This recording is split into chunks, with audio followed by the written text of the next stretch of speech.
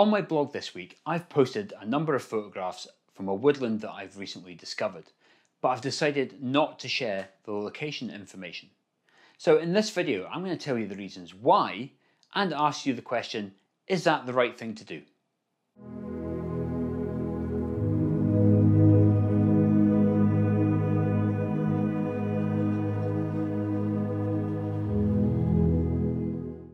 Ever since starting my blog and this YouTube channel, I've always said the locations of where my pictures are taken. I think it's useful information to other photographers. And to be honest, most of the time I'm photographing locations that have been photographed many, many times before. I never find some secret or hidden location.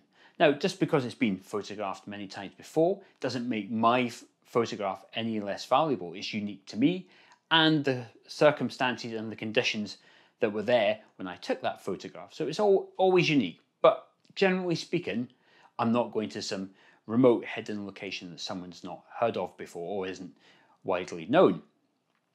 Now, I love sharing this information. So actually at the beginning of the uh, year it was, beginning of 2021, I created my free locations map. So you can anyone can go along to that, sign up to that, and you'll see a map of all the places that I've been with links to all the blog articles and you can have a look at the pictures and you can see where to go. I'm happy to share that information.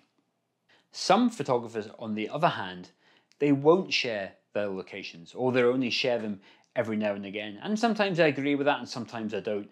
Some of the reasons are a little bit odd. You know, some photographers don't like sharing their location information because they feel that if you're going to go there and take a picture, you somehow have to work for it. So you should be going out there and discovering that location for yourself or discovering your own location. Or perhaps sometimes there's maybe a little bit of fear there. Perhaps you think a photographer will go there and, and, and take a better image than they will, or somehow it will make their photograph a bit less unique. But none of those reasons apply to why I won't share the location of this woodland location. I should probably put this video, or more specifically this location, in a bit more context now, just so you've got a better idea why I don't want to share where this particular woodland is. So what I'm going to do is I'm going to share with you the photographs that I captured on that recent visit.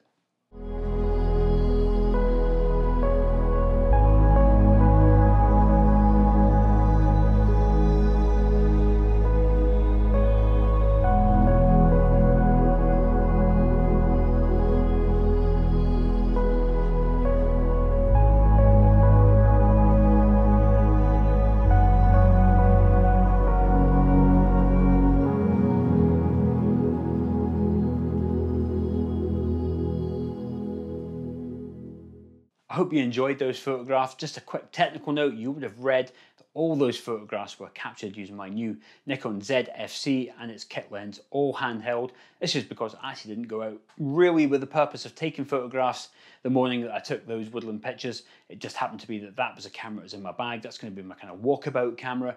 And I have to say, I'm really impressed with the image quality. It's, it's, it's great to have that kind of quality of camera that I can just put in the bag. But if you want to know more about my thoughts about that camera, I'll include a link for my video review at the end screen of this video and in the corner of the screen. Okay, let's discuss the reasons why I'm not sharing the location of this particular woodland. Recently, I've become a lot more aware of the impact my photography has on the environment. In fact, a few weeks ago, I published a video where uh, I talked about these these issues. You know, there was a location I went to visit that had been closed off due to the environmental impact caused by visitors, not just photographers, just people in, in general. And also there's been some recent press around Wistman's Wood on Dartmoor, which has suffered uh, quite a bit of environmental damage, again, through just people visiting there, not being careful, for example. And those woodlands, they're very fragile, you know, they're ancient woodlands. So, you know, they, are unique and they need to be looked after. And this kind of woodland that I've stumbled across, I think is in a, in a similar position. It's not a secret location. It's not, you know, it's not hidden. You can find it's on a map. You can see it on the on the OS map. So I haven't discovered this kind of secret location, and I'm trying to guard it for myself. I'm really trying just trying to protect the environment. I don't want it to become. I don't want it to become the next Wistman's Wood by putting a big flag in and say, look at these pictures. Again, you know, I say, I say look at these pictures.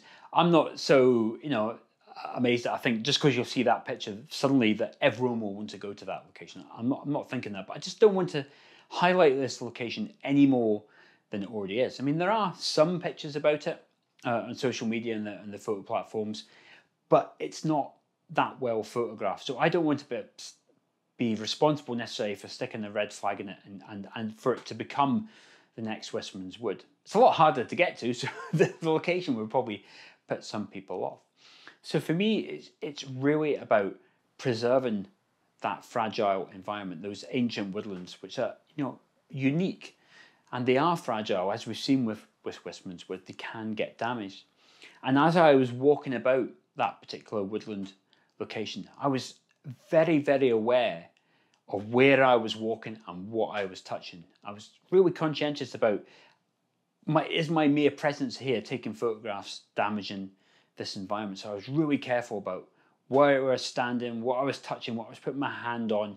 I tried to be as careful as I possibly could. Now these are open woodlands; you can go and visit. There's, you know, I haven't climbed over any fences and stuff like that. And there's a sign at the, the entrance of the of the woodland that you can see. It gives you information about it. So I haven't done anything dodgy, but I was quite aware of where I was I was standing.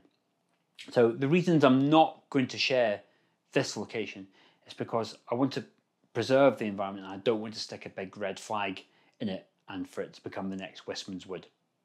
I am genuinely interested to know what your thoughts are on this topic. Am I right in this instance not to share that information? What are your thoughts on sharing location information in general? Should people not do it? Is it up to the photographer? Is it up to the photographer based on what that location is? Do you share your information or do you mind people asking you where photographs are taken. I'm really interested to know what people think on this topic. So if you've got some time, please do leave me a comment below. I will try and read and reply to everyone's comments.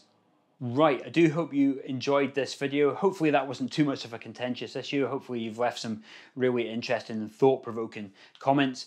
Um, if you've got an extra few minutes, there's some associated videos I'm popping up in the corners of the screen just now. Hope you've got time to check those out. But until the next video, I'll see you then.